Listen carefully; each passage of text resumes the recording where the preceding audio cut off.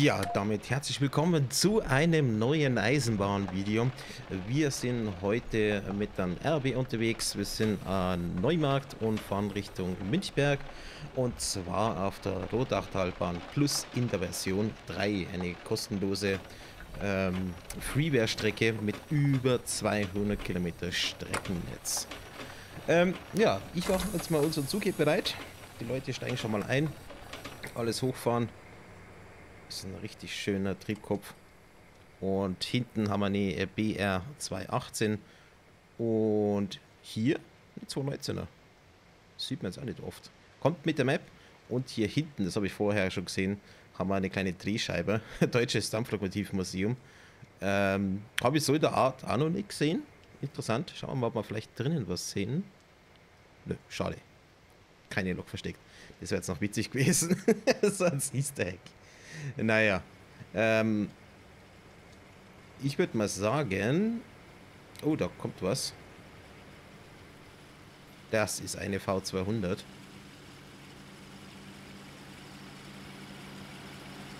Jo. Ah, das Modell müssen sie auch mal überarbeiten. Ein Bauzug. Ja, das Szenario ähm, gibt es bei racing.de. Ich werde das dann in der Videobeschreibung verlinken, falls ihr das auch spielen wollt. Und bei der Rodachtalbahn werde ich noch vermutlich zwei, drei Videos machen, um die Strecke so ein bisschen ja, zu zeigen. Weil die ist echt, echt super. Ich habe für mich schon ein bisschen gespielt und ich dachte, ich zeige es euch auch mal. Einerseits hier mit der RB und das nächste Mal werden wir die Strecke von der anderen Seite sehen. Wir werden nur einen kleinen Ausschnitt sehen, aber der ist trotzdem schon echt cool gemacht. Ähm, wir haben moderne Signale sowie auch die alten Formsignale, werden wir später auch noch sehen. Und ich glaube, das sollte so nicht sein, dass der das zittert. Komisch. Aber ja, gibt ja schlimmere Fehler in dem Sim als wie nur die zitternde Anzeige. Okay, ja, wir werden eigentlich bereit. Hoffen wir mal, dass das jetzt nicht mehr länger dauert und dann geht's los. Und während der Fahrt würde ich gerne mal über News sprechen. Einerseits über Railroads Online und äh, über den Kanal allgemein. Und äh, ja, also die Fahrt wird ungefähr plus minus 40 Minuten dauern. Wenn nichts dazwischen passiert, wie zum Beispiel, dass mir ein 100, äh, 1000 Hertz Magnet oder 500 Hertz Magnet mir eine Zwangsee reindrückt, gucken wir bis mal mit der Zwangsbremse so, ah ja. Und dann können wir losfahren. Nice. Ja. Äh, das erste, wo ich mal drüber sprechen möchte, ist natürlich Railroads Online. Ja, Leistung einschalten, jedes Mal das gleiche. Ähm, und zwar mache ich da aktuell keine Episoden mehr. Ich habe ja gesagt, da gibt es jetzt nur noch News-Updates und vielleicht kleine Specials, aber die, die Hauptepisoden erstmal nicht. Weil die Strecke ist ja jetzt komplett gebaut und äh, es gibt einfach gerade mal Content mehr. Aber gestern haben sie neue Patch Notes rausgebracht. Und die da sagen, ich schaue mal ganz kurz nach. Ich und Vorbereitung. Kein Multitasking machen. Genau. Ähm, das mal bestätigen. So. Äh, das erste, was sie gemacht haben, und zwar für den Main Branch und für den Beta Branch, ist, dass sie die Couplers mit den Drawbars ähm, verbessert haben, dass die in engeren Kurven sich nicht so schnell lösen und äh, die Unique World ID äh, ist jetzt im Safe Game drin. Hat eigentlich spielerisch jetzt nicht wirklich einen Impact, das ist mehr für das Spiel selber. Und äh, das neue Spine-System sind sie jetzt gerade im Entwickeln. Das heißt, äh, dass es im neuen Beta-Branch-Update ähm, fertige Eisen, also ja, wie soll man sagen, also Gleichstücke geben sollen mit einem einfachen Zug-Setup. Das steht wortwörtlich so drin.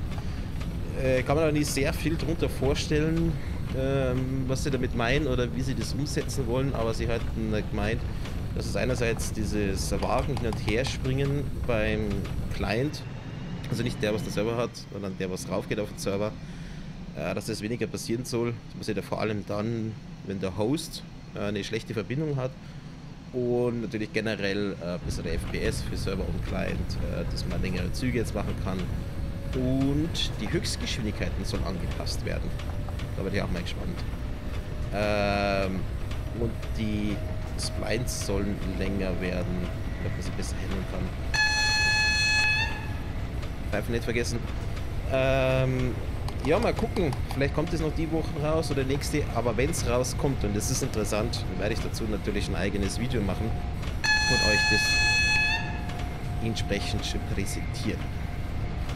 Okay, äh, nächster Halt sind 5,7 Kilometer. Ist nicht mehr so weit. Und sind noch halbwegs in der Zeit. Hoffentlich bleibt es so. Ähm, was ich auch jetzt machen möchte, ist generell mehr TS 2022 Videos machen. Und zwar von der Virtual District Line. Das ist ebenfalls kostenlos, gibt es bei Back to the Train Sim. Schau, dass ich auch da nicht vergesse, den Link rein zu posten in der Videobeschreibung. Sollte es vergessen, schreibt es mal einfach in die Kommentare rein. Ist eine richtig geile Strecke, eben von der District Line in London, wo du auch die unterschiedlichen U-Bahn-Wagen fahren kannst. Äh, von nein, also 1938er Stock, äh, D-Stock, C-Stock etc.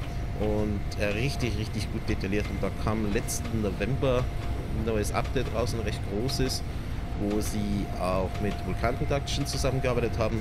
Also da, das Video kommt demnächst, beziehungsweise werde ich das vermutlich sogar live streamen, was einfach echt Spaß macht. Ja, was anderes als wie ja, Regional Intercity, mal anständig U-Bahn. Das Coole bei der District Line ist auch, dass sehr vieles oberirdisch ist. Dass du nicht nur ja, quasi in der Röhre bist. Neben der District Line habe ich mir jetzt auch das neue Update zu Train Simulator, ja, es ist ja kein Update, es ist ja eine Erweiterung, ich würde es ja eigentlich als Update deklarieren. Und zwar ist es dieses, äh, was ist denn? Oh, Gehirn, hilf mir. Genau, jetzt finde ich es natürlich nicht. Train Sim World. Genau. Das war dieses New Johnny's Expansion, für das sie 14 Franken verlangen. Liebe Leute, ich habe mir das schon angeschaut. Kauft euch das nicht. Ihr kriegt basically einfach nur drei Repaints. Und zwar von, dem, von der 1972er Tube Stock in einer Aluminium- und Rotlackierung. Also, ja, dann die SD40 in CSX Blau und Grau. Da hat sich aber auch das Interior ein bisschen geändert. Das war für das einzige, wo man sagt, hm, wenn das wert ist. Und ähm, die BR 423 hat noch ein Repaint gekriegt äh, für die S-Bahn Köln. Und entsprechend gibt es für alle drei Varianten zwischen 2 und 3 Szenarios Standard. Da ist nichts Besonderes mit dabei. Also gibt es dafür keine 14 Franken aus wie dieser Euro. Wartet da auf ein Sale und holt es euch dann. Aber das ist keine 14 Franken mehr. Das, wenn, wenn hätte ich gesagt, sollte man sowas eigentlich kostenlos weitergeben oder halt mit einem Patch bringen. Aber kein Geld für das verlangen. Aber das ist, es ist halt typisch Stachtel Games. Geld machen, wo es halt nur geht. Was man mittlerweile Geld ausgeben kann für das Spiel, das ist unglaublich. So, 1,7 Kilometer. Bin mal da. Geht ganz schön steil rauf hier. Jetzt, die Map ist echt schön gemacht. Mal hier und da sieht man natürlich das Alter von der Map selber. Der laut Handbuch ist er seit oder hat schon 2500 Stunden in das investiert. Und der äh, erstmal gut ab. Da kommt da schon die Ankündigung fürs langsamer werden.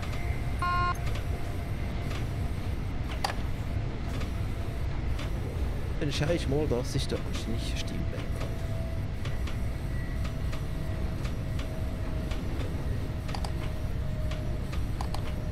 Können wir jetzt ja weitestgehend mal rollen lassen. Oh, und da sehe ich schon. Wir fahren auf ein rotes Signal zu. Aber ist ja kein Problem. Wenn wir eh den halt haben. Und da ist die PCB.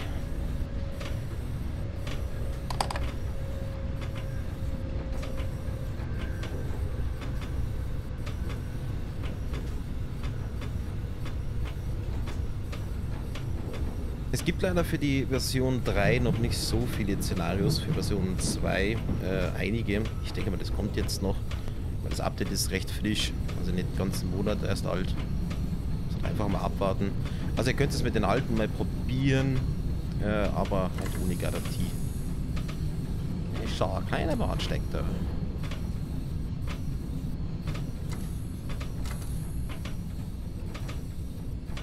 Also die Bremsen muss ich mich auf alle Fälle noch gewöhnen.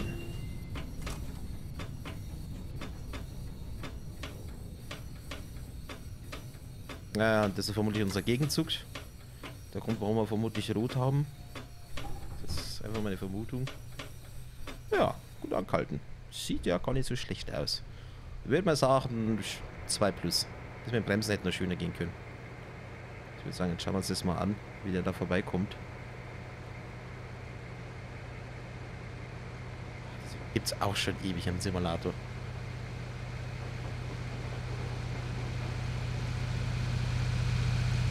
Moin, Kollege.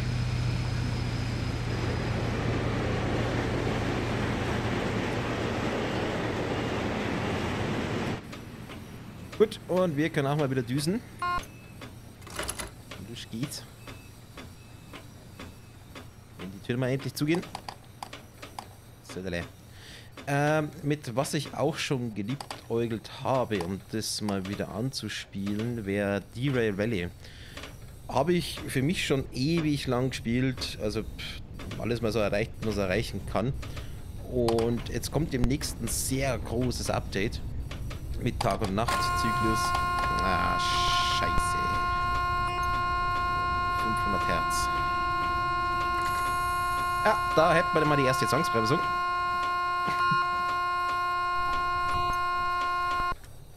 So. Ähm, so viel zum Fahrplan. Ich muss jetzt irgendwie zum Signal schaffen. Ah, so shit. Jedes Mal.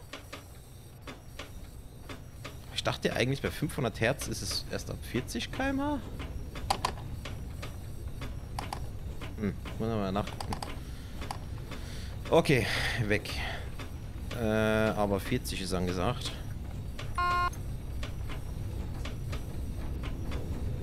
Ähm, ja, die Rebelle. Jetzt schaue ich mal gerade. Äh, Notizen. Ah, ne, habe ich da gar nicht. Ach, da. Uh, und da habe ich auch gerade schon schlechte News, wie ich das gerade sehe. Ähm, die wollten das große Update nächsten Monat rausbringen, haben jetzt aber einen Post rausgelassen, dass sie es verschieben müssen. Ähm, einfach aus dem Grund, dass es so viele Änderungen hat und äh, der Qualitätsstandard mittlerweile so hoch ist, beziehungsweise die Erwartungshaltung der Community, äh, dass sie jetzt einen Feature Freeze machen und das perfektionieren und dann rausbringen. Finde ich eigentlich gar nicht so schlecht und äh, ganz gut, dass sie da offen und ehrlich damit umgehen. Also was halt effektiv kommen soll, ist jetzt dynamisches Wetter, äh, Tag- und Nachtzyklus, wie ich schon erwähnt habe. Ähm, die Simulation der dieselelektrischen Loks soll verbessert werden, genauso auch wieder von der Dampfloks. Äh, die GUI soll komplett überarbeitet werden, der User und Safe Manager wird überarbeitet, inklusive neues Inventarsystem. Ähm, es soll jetzt Sandbox-Mode geben im nächsten und äh, die Übersetzung in andere Sprachen sowie halt noch ein paar kleine Fixes, die nicht weiter lang sind. Ähm, wo sie dran sind, aber vermutlich noch nicht im nächsten Update kommen, das sind die Simulationen von anderen Lokomotivtypen. Ähm, es sollen, warte mal, das sind 1, 2, 3, 4, mindestens 5 neue Loks sollen dazukommen. Dann Mod-Support für die Loks, finde ich schon mal sehr gut, da kann die Community was machen. Ähm, dann halt natürlich neue äh, Wagen, sowie Güterwagen, neue Industrien, äh, Städte und Dörfer. Also die Karte wird dann erweitert, respektive umgebaut. Da bin ich auch schon gespannt. Und die äh, das Eisenbahnnetz, was sie haben, soll erweitert werden. Sprich zweigleisig, äh, Elektrifizierung und äh, besseres Jobsystem soll noch kommen. Krass. Das könnte noch eher VR Train Sim werden, was du natürlich auch ohne VR spielen kannst. Also ich habe meiste Zeit ohne VR gespielt, habe es natürlich VR mal ausprobiert, aber war nicht so gemütlich. Also da bin ich schon gespannt drauf. Also wenn, wenn das dann kommt, werde ich auf alle Fälle mal ein, zwei Episoden nochmal machen, beziehungsweise im Livestream dann spielen. Es fixt mir schon an. Und ich wurde halt nochmal gefragt, ob ich äh, Train Live nicht doch mal spielen möchte. Ich hab's, aber ich bin nach wie vor nicht überzeugt davon. Ich sehe mir regelmäßig die Patch Notes an, was sie so machen und ab und zu mal aktuelle Let's Plays. Ja, das ist, das ist für mich nicht wirklich eine Simulation. Das ist halt so ein bisschen casual rumfahren, Geld machen und halt eine Firma aufbauen. Das ist so wie, ja, mit was für Spiel könnte man das vergleichen? Ähm, Railroad Tycoon vielleicht am ehesten, weil dass du halt selber Züge fahren kannst. Ich muss jetzt gerade irgendwie an Industriegigant denken. Von. Oh, das alte Spiel. Hätte ich auch mal Bock, das zu spielen. Mal schauen, wie das irgendwo rumliegen habe. Ähm, das, was ich da vorne sehe, finde ich nicht so geil. Das heißt, dürfen wir wieder anhalten. Aber es ist eher unser nächster Halt. Wir sind noch halbwegs in der Zeit. Trotz Zwangsbremse. Wir rollen hier. Ja, diese alten Signale sind halt schon schön, ne? Signale vor die Wind.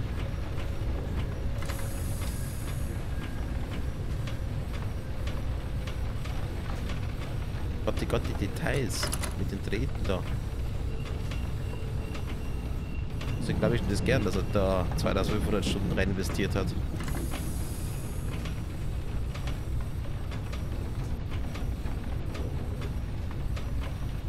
Und, ich weiß gar nicht, ob ich schon erwähnt habe, aber generell das Fahrgeräusch von dem Steuerwagen ist mega nice, auch von außen, wenn er bei Weichen oder so drüber fährt. Oh, ist der Bahnhof hier. Da kann das quietschen. Das ist sexy.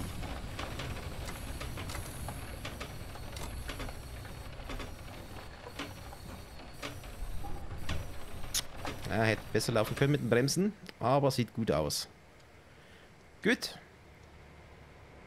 Schauen wir uns doch mal hier mal ein bisschen um, was wir da so haben. Wollen wir mal zuerst mal das hier anschauen. Das rein vom Boden her könnte das da hinten das Stellwerk sein. Nee, Platz? Keine Ahnung. Also die Gewichte, aber es geht halt da rein. Und geht da hinten weiter. Das hat Liebe zum Detail.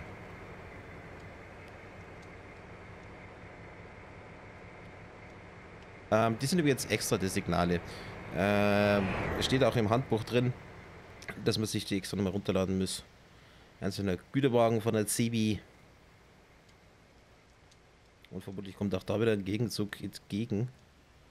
Und da geht es rechts nach unten, wo auch immer es dahin geht. Und ja. Schauen wir mal bei dem Bahnübergang, ob der blinkt. Ja, tut er. Nach der alten Schule. Ich glaube, äh, ich werde noch mal im Handbuch nachschauen, in welcher Epoche das nachempfunden ist, also die ganze Strecke. Ähm, Teil davon gibt es auch heute nicht mehr von der Rodachtalbahn. Ich schaue da gleich mal nach.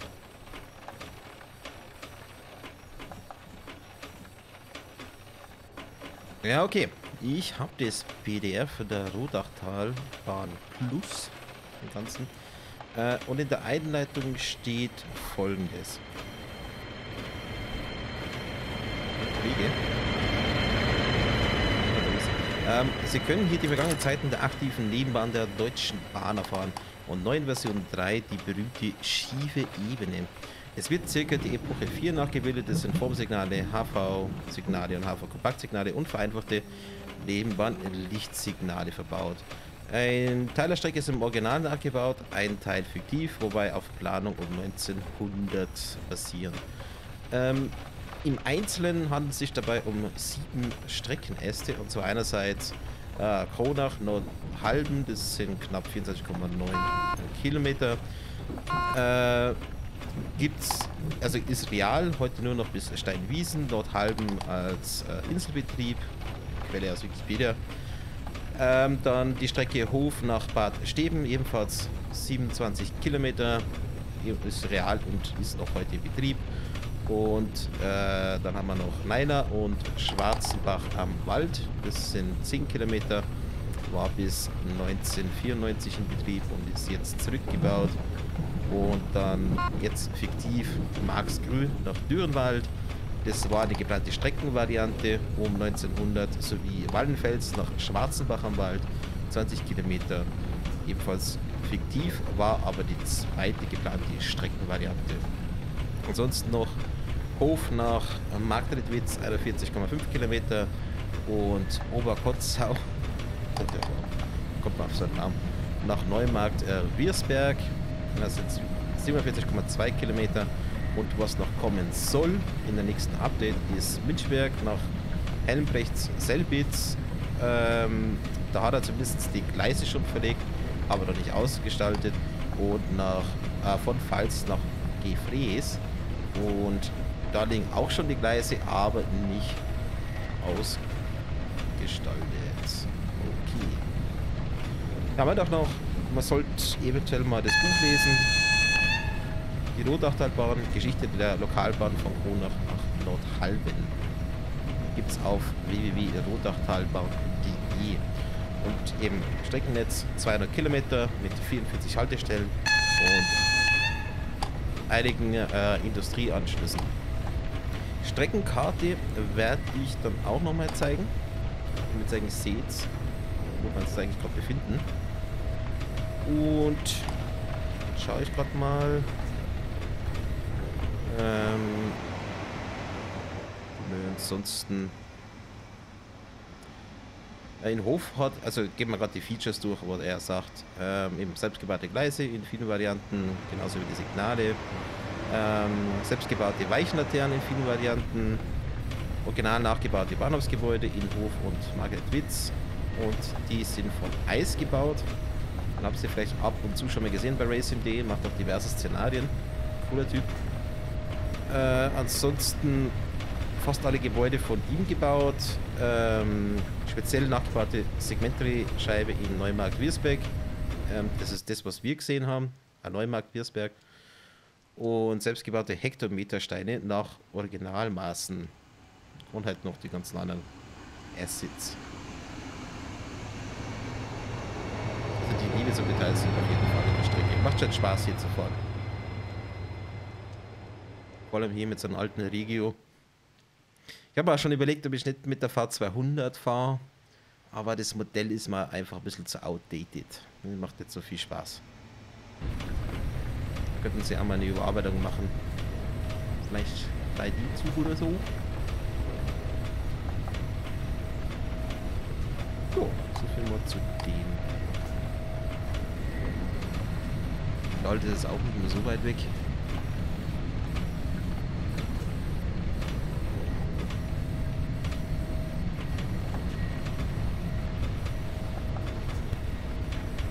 Eine witzige Sache muss ich erzählen ähm, zum Zeitpunkt der Aufnahme ist gerade dieser große Sturm bei uns in der Schweiz und Tage davor war es in Deutschland. Und Chris, mit dem wir ja schon ein, zwei Videos ja gemacht haben, hat mir so äh, ein Foto so geschrieben, äh, ja, Sturm in Deutschland, das ist mit Ausfällen zu rechnen und Verspätungen. Dann schickt er mir ein Foto von, vom Ibis, wo drin steht, dass er 40 Minuten Verspätung hat. heute äh, wo der Sturm bei uns so abgegangen ist, bin ich zum Bahnhof gegangen und dann kommt die S-Bahn mit drei Minuten Verspätung, hat voll gestürmt, fährt los und dann hat es auch noch eine Entschuldigung gegeben mit, ja, tut uns leid, dass wir um drei Minuten zu spät sind. das war einfach von der Situation her so super. In Deutschland komplette Ausfälle, 40 Minuten plus und ah, die Schweizer SBB, ja, sorry für drei Minuten. hat ein bisschen gewindet. Ähm, aber ja, das, das machen sie wirklich ab drei Minuten, also generell, äh, egal was für die Verspätung. Oh je, wir langsamer werden hier. Ähm, entschuldigen sich die. Es ist schon echter Luxus hier in der Schweiz mit der SBB. Das einerseits von den Taktraten her und äh, natürlich auch von der Pünktlichkeit. Du bist so schnell von A nach B. Du brauchst de facto nicht auf den Fahrplan gucken, weil du kannst dir sicher sein, spätestens in 10 Minuten kommt ein Zug, der in die Richtung fährt, in die du hin bist. Das gleiche gilt auch für den ganz normalen ÖPNV, also Bus und Tram. Gerade speziell in Zürich. Da brauchst du kein Auto, da fahrst du mit der Tram.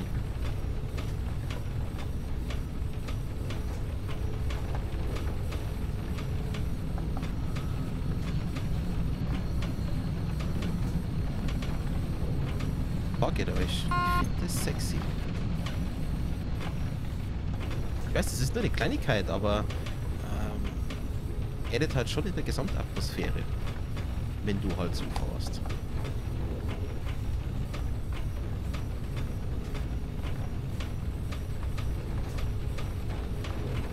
Ich hoffe, das ist dann auch alles nicht zu dunkel auf YouTube. Wenn ja irgendwie die Videos immer dunkler.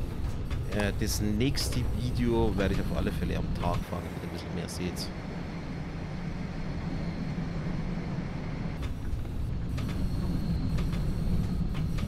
Doch gerne mal, aber da brauche ich eine andere Strecke dafür, mit den anderen alten Steuerwagen fahren. Eventuell S-Bahn mit B111. Das erste, was man einkommt. Future Waywards hat ja da ein paar geile Add-ons rausgebracht in der Richtung. Ja, guck. Sauber anhalten.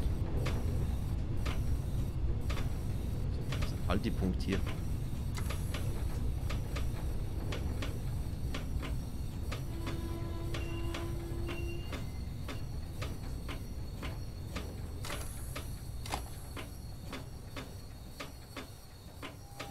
Gerade noch so. Schauen wir mal. Ja, das kann man gelten lassen. Da habe ich schon schlimmer angehalten. Mal speichern für den Fall der Fälle. Ich würde sagen, schauen wir uns doch mal um, was wir hier so haben, während hier die Leute einsteigen. Haben wir eine kleine Abstellgruppe mit einem Nebengleis. Das da. Was auch immer das ist. Beiwa. Beiwa. Beiwa. Keine Ahnung ob es das wirklich gibt. Ähm, da auch nochmal. Sieht aber nicht wirklich ein News aus. Uh, schaut mal, sogar hier die Nebendetails sind gut gemacht. Obwohl das normalerweise so gar nicht siehst, wenn du nicht aktiv hinschauen würdest. Und der Mini-Abstellgruppe mit einem Holzzug. Der wartet vermutlich auf Ablieferung, wenn man ihn irgendwo hinbringt. Und ein Stellwerk. Oh, da schauen wir doch mal gerade mal rein. Schon ein moderneres. Ja, liebe Detail. Haben wir sogar einen Typen hier drin. Nice. Ja, und da gehen auch die Stränge weg, also die Signale. Schade, dass man das nicht bei jeder Strecke so hat. Gut, diesmal war wieder noch halbwegs pünktlich hier ankommen. Na. X-Power. Ah, jetzt. Ähm, ich werde mal kurz nebenbei äh, Eisenbahn-News mal rausholen. Und euch die mal kurz erzählen. Ah ja, und falls ihr es noch nicht bemerkt habt, ich werde das, oder ich tue es im Nachhinein vertonen. Ich habe das so jetzt für mich erstmal gespielt und habe mir da mal vorgenommen, das mal so zu vertonen. Wird auch das einzige Video sein. Die anderen werde ich wieder live vertonen, während ich gerade fahre. Aber so ist es jetzt schon ganz praktisch, dass ich mir halt Sachen raussuchen kann, während mein Vergangenheits-Ich ähm, den Zug hier fährt. also, ja, ich komme gleich wieder. Ich schaue mal gerade schnell bei der Susi äh, News vorbei.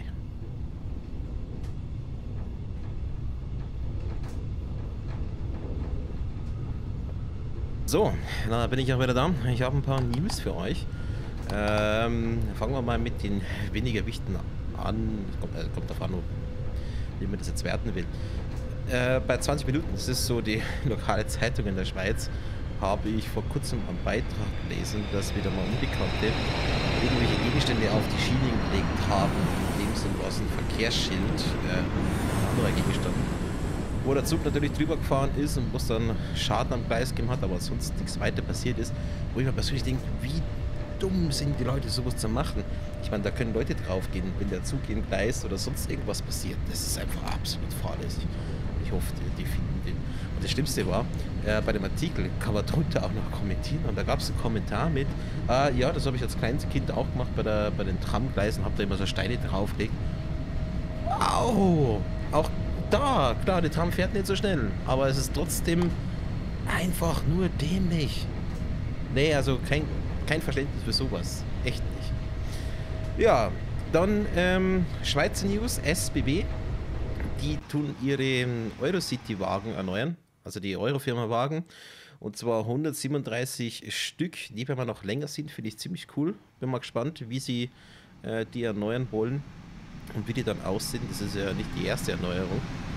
Ähm, und es soll bis 2028 fertig sein. Ja, genau, 2028. Ja, und die Zahl stimmt auch nicht. Es sind 175 Wagen, äh, wo sie die äh, renovieren wollen. Und die ersten äh, jetzt schon das Jahr mit Prototypen. So viel zu dem. Und die allergrößte News, die ist zum Zeitpunkt des Videos jetzt nicht mehr so neu, aber trotzdem nur wichtig. Und zwar das Demo-Museum Nürnberg beendet zum Ende April die Zusammenarbeit mit den Eisenbahnfreunden in Halle. Äh, das ist ein Verein mit knapp 100 aktiven Mitgliedern. Die sind im Lokschuppen in Halle, wo sie Dampfloks und DDR-E-Loks äh, instand halten und auch betriebsfähig halten. Damit äh, machen sie auch Sonderfahrten. Und das DB-Museum hat jetzt gesagt, äh, ist nicht mehr. Die Loks werden in den Lokschuppen drin bleiben, die werden wir nach wie vor sehen können, aber nicht mehr fahren. Wortwörtlich sagen sie, das DB-Museum sieht es aus eisenbahnrechtlichen Gründen als definitiv nicht möglich an, den Lokschuppen Halle als einen Standort mit Betriebs dieser rollfähigen Lokomotiven zu halten und hat daher sämtliche Fahrzeugbewegungen untersagt, sagte der Verein was ich echt dumm finde. In einem anderen Artikel stand noch drin, ähm, also klar, sie wollen jetzt die Drehscheibe komplett erneuern und umbauen, äh, dass es wieder modern ist. Aber es wird einfach keine Fahrzeugbewegung mehr geben, was ich sehr, sehr schade finde. Das, das finde ich einfach eine feige Aussage. Die wollen vermutlich einfach nur ihr Geld sparen. Also die DB können es garantiert leisten, nachdem sie ja sonst überall Einsparungsmaßnahmen haben. Und in den Eis in den Eisenbahnforen äh, sagen sie, dass sie halt also Umbaumaßnahmen machen mit Kinderspielplatz, ein bisschen interaktiver äh, Displays etc., aber wird halt nicht mehr umfahren. Das finde ich so, so dumm. Der Verein muss jetzt leider umziehen äh, zu einem neuen Standort und wird dann halt mit weniger Lokmaterial rumfahren. Also sie haben ja auch eigene und die, äh, die Loks stehen auch woanders, äh, mit denen weitermachen. Aber die alten Sachen aus dem DB-Museum da bewegt sich nicht, äh, nichts mehr. Den Artikel werde ich noch verlinken und da wäre ich auch nur ganz froh, wenn ihr vielleicht dazu einen Kommentar reinschreibt in die Kommentare, was ihr zu dem Ganzen hält. Das ist leider echt schade. Schade, schade. Also gerade die historischen Sachen halt in Action zu sehen, ist etwas was anderes, als wie die zu sehen, wie sie vor sich hinschimmeln in den Museen. Gerade wenn du so einen aktiven Verein hast, der das ja machen würde. Und dann drehst du halt mein Geld dann ab. Naja. Jetzt habe ich schon drei Sachen, wo ich gesagt habe, ich werde die dann reinposten ins Video. Ich hoffe, ich hoffe, ihr merkt mir das alles. wäre vielleicht ein guter Moment, um mir das einfach zu schreiben. Ich glaube, das mache ich mal.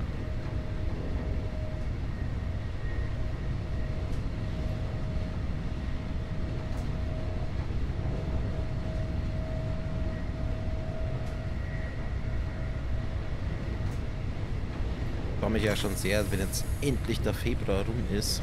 Denn im nächsten Monat geht es bei uns im Lokorama im Museum endlich los, dass da mal wieder aktiv was zu tun gibt. Und da werde ich dann entsprechend wieder Videos machen, beziehungsweise auch 360 Videos. Gerade wenn so ein Dampf-Special ist, wenn wir eine Dampflok da haben, die gerade äh, aktiv am Fahren ist. Ähm, das gleiche auch mit E-Logs. Generell, ich werde das dokumentieren, wenn eventtechnisch was Spezielles passiert. Ah, da freue ich mich schon drauf habe schon ein bisschen vermisst, da nicht im Museum zu sein. Ich bin zwar jetzt im Urlaub ab und zu mal hingegangen und mal ein paar kleinere Arbeiten gemacht, aber es ist schon spannender, wenn halt was los ist. Erinnert mich auch daran, dass ich endlich mal meine Dell-Eisenbahn mal revidieren muss. Die äh, Lima-Eisenbahn, die ich gekriegt habe. Denn leider funktionieren alle Fahrzeuge nicht. Beziehungsweise tendiere ich eher dazu, dass der alte Trafo nicht mehr funktioniert. Ähm, da brauche ich aber erstmal noch ein Messgerät, ob da überhaupt Saft rauskommt, weil das alle Loks nicht gehen, ist ein bisschen schräg. Nichtsdestotrotz muss ich trotzdem mal alle aufmachen zum Schmieren und sauber machen. Doch knapp 40, 50 Jahre alt, das Set, was ich da habe.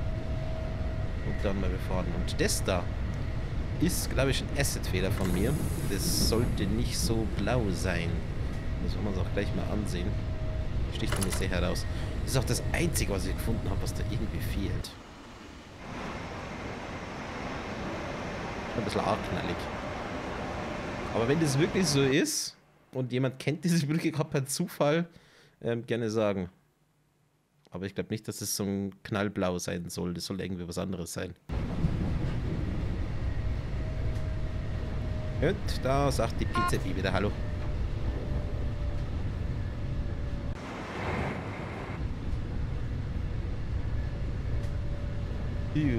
Ähm, kleiner Side-Fact. Ich habe nebenbei ein YouTube-Video angeschaut. Die in England gibt es ein recht steiles Stück, wo. Also das steilste Stück, ich mal nachschauen, was es ist. Da sage ich jetzt gerade noch Blödsinn, einen Moment. Binky Incline von den Midland Railways, das steilste Stück. Und da haben sie äh, 1910 eine Lokomotive gebaut, die nur als Banking Engine bzw. Unterstützungslokomotive dient. Die hat, Entschuldigung, die hat einfach nur die Züge den Berg raufgebracht und ist dann wieder runtergefahren. Die hat nur das gemacht. Die war immens stark und wurde dann später mit einer Class 9F ausgetauscht. Und äh, man wusste nicht mal, wie schnell sie fährt, weil man das hat, weil man es nie getestet hat. Einfach nur den Berg rauf und wieder runter. Nur für das hat man eine Lokomotive gebaut, damit es immer konstant ist. Es ist irgendwie ja, schon eine interessante Idee. Äh, mittlerweile aber verschrottet. Nicht mehr existent. So, wir nähern uns den letzten Halt. Größerer Bahnhof hier. Und dann war es das auch mit der Fahrt. Ich hoffe, das hat euch gefallen. Und dann sehen wir uns demnächst auch bei der nächsten Fahrt wieder, wieder auf der Rotachtalbahn. Und eventuell fahrt sie auch mal selber. Es gibt übrigens für die Rotachtalbahn ähm, spezielle Quick-Drive-Szenarien, und zwar die Real Drive Quick Drive Szenarien, vielleicht kennt es der eine oder andere, wo man äh, sich wie üblich einen Consist aussucht, mit dem man fahren möchte und sagt halt von A nach B, wo es hingeht, also ganz Quick Drive typisch. Aber der Verkehr ist randomized. Sprich, du kannst random rote Signale kriegen vor dir einen Zug etc. Damit das Fahren jedes Mal anders ist und spannend. Coole Sache, wenn man keinen Bock hat auf ein fertiges Szenario, sondern mit was fahren will, was dann gerade selber so irgendwie im Sinn ist. Kann ich nur empfehlen. Hab schon ein paar Mal ausprobiert auf bei anderen Strecken. Ja. Südale. Nicht viel los auf dem Bahnsteig. Gut, kurz vor 8.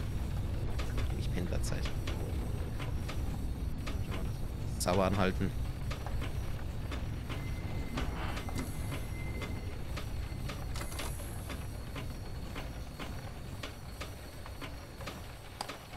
Ja, ja.